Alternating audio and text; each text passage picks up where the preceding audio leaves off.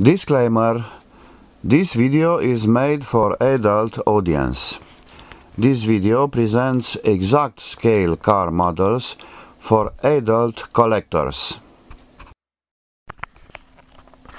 Hello my friends, RoMad Cars here. Moskvich 403 from 1961 was a car made in former Soviet Union. I like the design and also the color here it is in the Hachette collection, Automobile de Neuitat from Romania at 124 scale. I uh, also remember them because they are used as uh, taxis.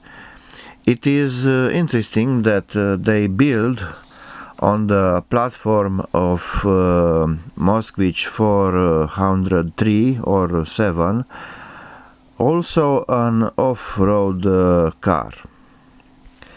I say uh, the both basic uh, models Moskvich uh, 403 and 407 were taxis in my hometown. Some of them were painted in two colors, base and top. The top was white or gray and the base um, I really don't remember anymore. I was uh, just a little kid then at uh, kindergarten when they are uh, still in the streets, when those cars are uh, still uh, working as taxis.